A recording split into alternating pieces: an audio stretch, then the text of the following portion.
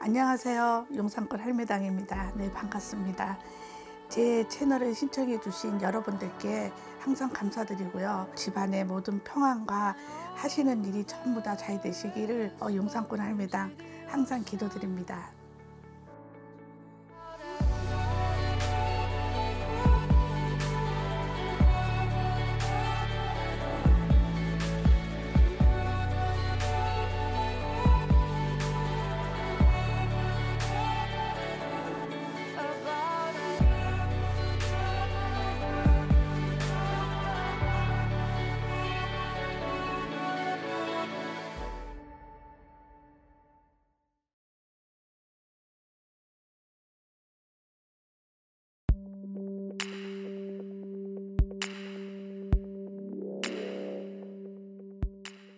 안녕하세요. 용산골 할매당입니다. 네, 반갑습니다. 네, 반갑습니다. 네, 이 시간에는 말띠에 대해서 제가 잠깐 짚어드릴게요. 네.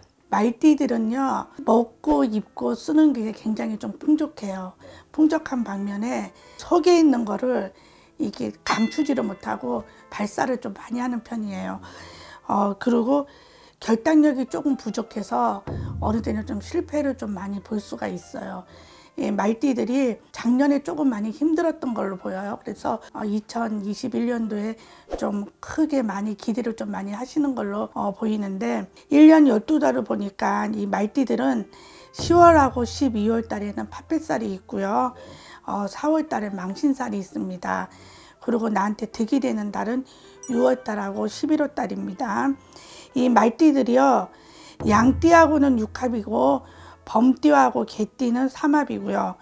소띠하고 원진살입니다. 쥐띠하고 토끼띠하고는 또 충이 있기 때문에 어, 요거는 조금 피해서 가시는 게 좋고요. 말띠들이 이제 방향을 찾으신다 그러면은 북쪽 방향은 굉장히 좋고요.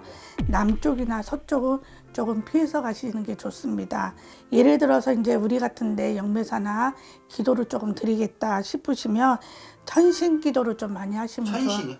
네, 천신 기도. 천신 기도를 조금 하시면은 올해 2020년도보다 좀 곱게 곱게 넘어갈 것 같습니다. 자, 파페살, 파페살 얘기 네. 어, 여러 번 해주셨는데 이 시청하시는 분들 또 간략하게 또 이해하시기 편하게끔 파페살이란 파페살을 정의를 내린다 하면은 어, 저는 깨지고 부셔진다고 좀 얘기를 하거든요. 그러니까 돈이 들어오는 것도 돈이 안 들어서 흩어지고 어떤 일을 만약에 직장을 다니거나 어디를 다니면 거기서 오래 가지를 못하고 그만두고 저는 그렇게 봐요. 팥뱃살은 깨지고 부서지는 거.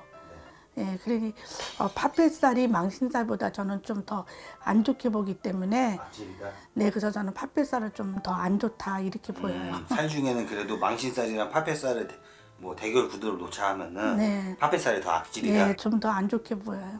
알겠습니다. 네, 감사합니다. 네.